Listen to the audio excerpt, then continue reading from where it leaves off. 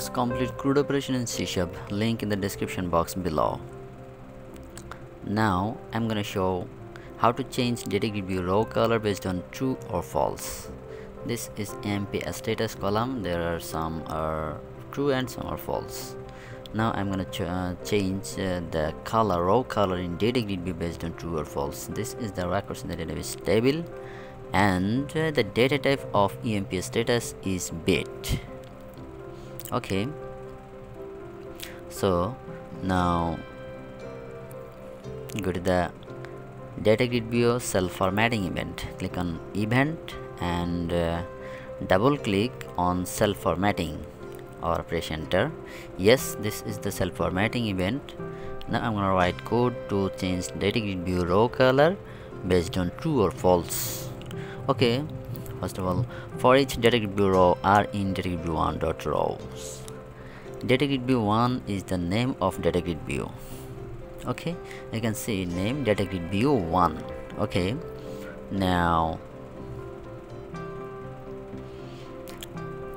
bool my SQL Server EMP status columns data type is bit so this is boolean type so bool is approved. I just declared the variable bool boolean type.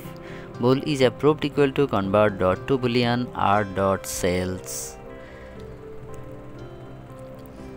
Cells uh, the index of the emp status column is 7 so cell 7 dot value you can see 0 1 2 3 4 5 6 7 okay.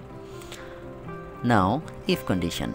If is approved equal to false then the color will be red. The back color of the row will be red. So r dot default cell style dot back color equal to color dot red. Yes? And font color.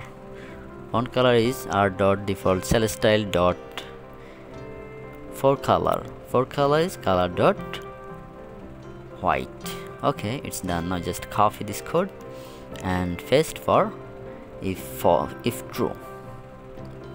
So if else if is approved equal to true. Double equal.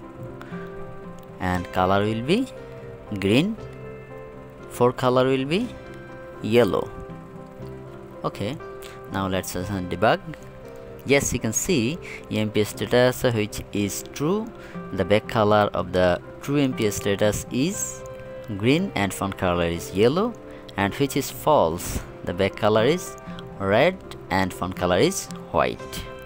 It's working fine. Thanks for watching this tutorial. If you like this tutorial please subscribe and press the bell icon for upcoming videos